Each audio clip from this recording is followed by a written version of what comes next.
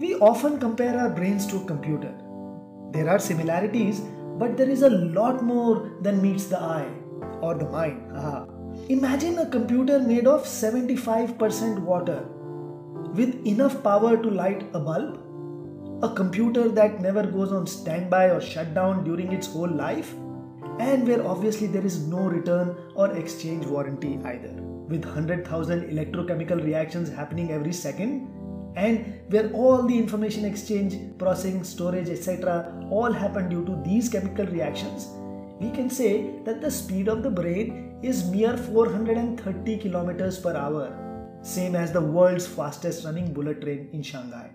This is much slower than the computer based on binary electronics, where the processing happens in a computer and the information flow is much, much faster almost equivalent to the speed of light. And while we compare the supposedly slow human brains to a ultra fast computer, what is ironical is that even with humongous amount of computers human scientists have at their disposal, humans still understand very little about the human brain.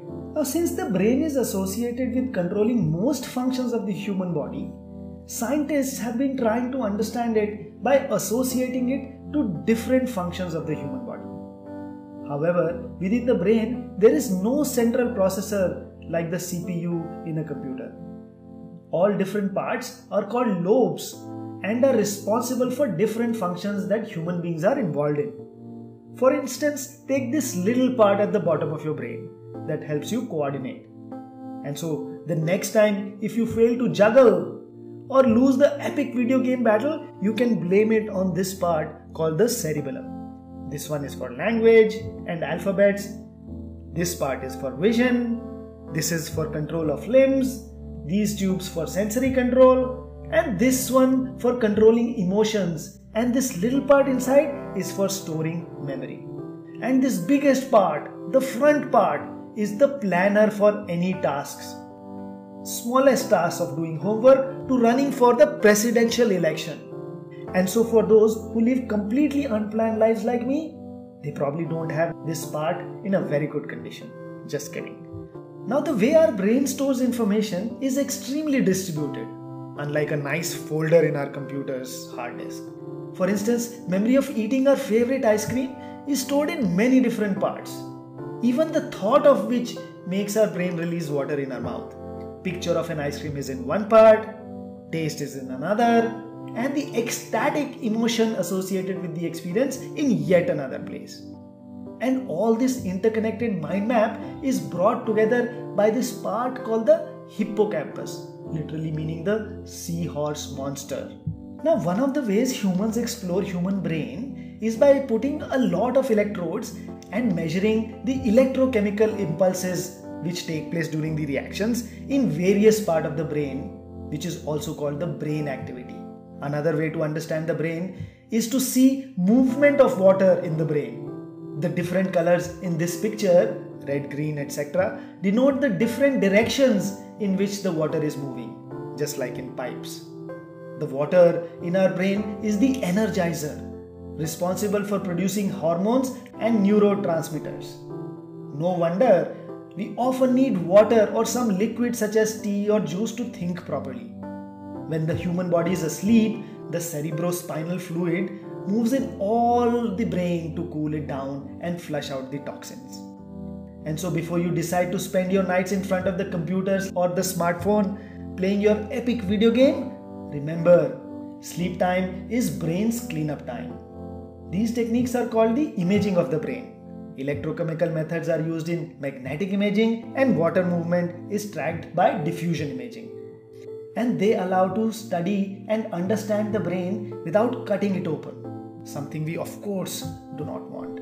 And while the basic unit of a computer is a transistor made on thin silicon, which is a fancy name for ultra purified sand, the basic unit of a brain is a living cell called a neuron and 100 billion of these neurons connect with each other in the brain, making an extremely complex circuit, also called the pathway, almost similar to transistors connected in a computer.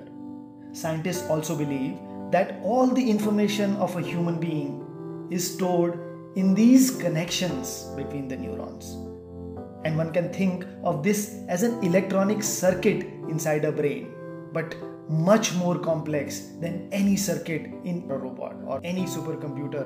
And so it is believed that if one can decipher these 100 billion connections between the neurons, humans can conquer the human brain. Now, just for comparison, even deciphering the connections in a fruit fly's brain is extremely complex. But the Human Connectome project aims to map all these 100 billion neurons and its connections, and we hope that all this can be done within our lifetimes. Some of the brain path images that we have shown come from this project. Oh, yes, and the research also says that the connections of human brain are made by the time we turn 12. So I wonder why we need to go to school after we turn 12. Well, the connections don't entirely stop forming. And actually, anytime we learn something new or even practice the same thing over, newer connections get formed and strengthen inside. Remember, practice makes you perfect. Oh, and also watching TV stops building this network. Really bad news for all the cartoon channels. In the last five years, scientists have really focused on their work to understanding and mapping the brain connections rather than just focusing on the individual parts. And it is believed that when we are done, and if we are done, we will get all the answers to whatever happens inside our brain. So much for human endeavor of trying to conquer this 1.5 kg small human brain running at 430 kilometers per hour with the help of millions of ultra fast human made computers. Haha, so you know who won the race. And by the way, while this movie was the creation of a couple of human brains, ironically the manufacturing and distribution was possible due to human computers. Hope you enjoyed the film. Thank you.